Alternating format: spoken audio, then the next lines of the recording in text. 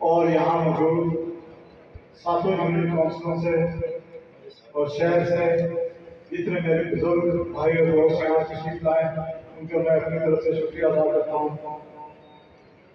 मैं माजरत भी चाहता हूँ कि ज़ाब्ता अखलाक की वजह से हमने बड़ा महदूद ये प्रोग्राम किया है।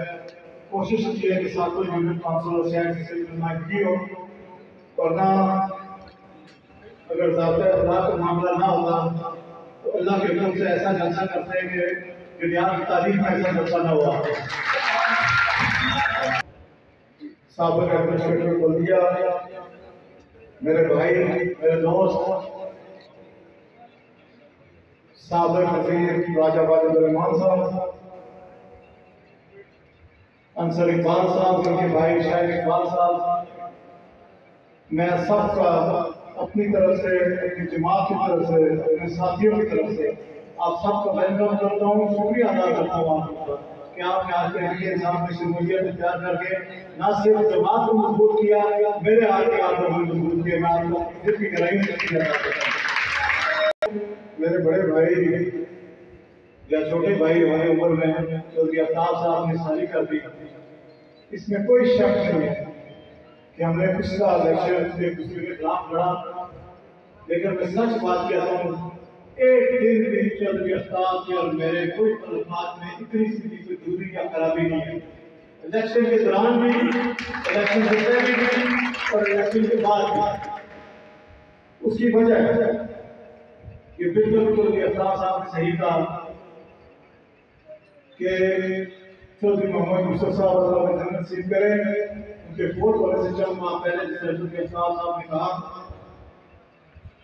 और उन्होंने हमें बुलाया और ये तारीफ़ की कि अगर विद्याल के लोगों के लिए बेहतरी चाहते हो तो इकट्ठे रहें इस चक्कर में मत माना कि मैं भी ऐसे लड़ूं और ये तो वही नतीजा निकलेगा जो पिछले इलेक्शन में निकला है। गलतियाँ होती हैं, शायद मुझसे भी हुई है और शायद साफ़ साफ़ से भी हुई है। कुछ मजबूरियाँ भी होती है। लेकिन ये मेरा भाई है, मुझे आज भाई खुशी है ये तीनों भाई और इनकी पूरी टीम कभी अब्दाल साहब कहा डिडियाल से दूसरे तरफों से जो इनके जाने वाले कंसर साहब के, हमारे रहमान साहब के और इनके लोग मेरे साथ शामिल हो रहे हैं इनकी मर्ज़ी से शामिल हुए हैं। लोग तो कहते हैं कि हैं, ऐसी कोई बात नहीं।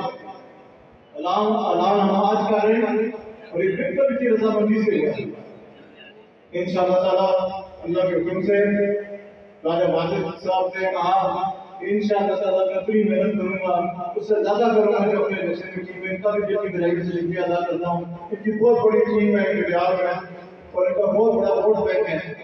राज मैं आपका उसकी दिल की से शुक्रिया अदा करता हूँ। अंसर साहब मेरे भाई हैं, इस सारी टीम को जोड़ने में, इस इतिहाद को बरकरार रखने में, और यहाँ हम सब के बैठने में सबसे बड़ा हाथ है चौधरी अंसर साहब का मैं इनका भी शुक्रिया अदा करता हूँ।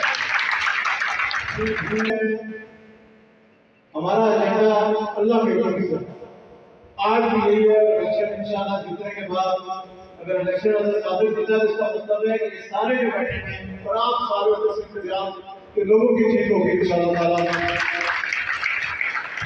अल्लाह के हुक्म से। इस तरह चौधरी अफ्ताब साहब ने कहा कि कभी भी ये नहीं होगा कि कोई बता मेरे पास चौधरी अफ्ताब साहब के पास आए मैं आपको फॉर्मूला कहता हूँ अगर मैं एमएलए हूँ तो ये सब एमएलए होंगे, ये सब इंशाल्लाह तैयार के वज़ीर होंगे। हमने कभी भी ये बात ना हमें कबूल है, ना मेरी टीम को कबूल है। कि कोई वोटर जैसे वोटर हमारे पास आए और हम उसकी तारीफ़ भी करना शुरू कर दें। कि वोट उसी किसी से है तो पोलिंग पड़ा, ये कभी भी नहीं होगा। ना ये काम यूसुफ साहब ने किया है ना ये काम मुलाकात हमसे हम करेंगे, इंशाल्लाह ताला। सबको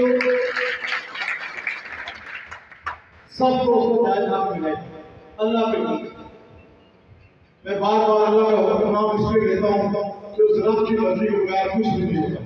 हम कोशिश कर सकते हैं और इंशाल्लाह कोशिश करेंगे। हम सबके लिए साथ अगर आज हम यहाँ बैठे हुए हैं तो जिस तरह चौधरी अफ्ताब साहब ने राजा साहब ने कहा, कोई जाति हमारा एजेंडा नहीं। हमारा एजेंडा ये कि पिछले दस साल में जो मैं रुपया विद्यालय में रहेंगे इसको पूरा करेंगे। यहाँ चौधरी अफ्ताब साहब ने बेगल विराल की बात की, अभी हमने जैसे जैसे वहाँ की बात की हर दर्शन में बात करता हूँ कि अगर यहाँ बिलाल दुनिया बनी है बेगल विराल की तो सिर्फ़ चौधरी मोहम्मद यूसुफ साहब के जमाने में बनी है, बाकी सब तकरीबन ही हो जाएगी, और काम कोई नहीं।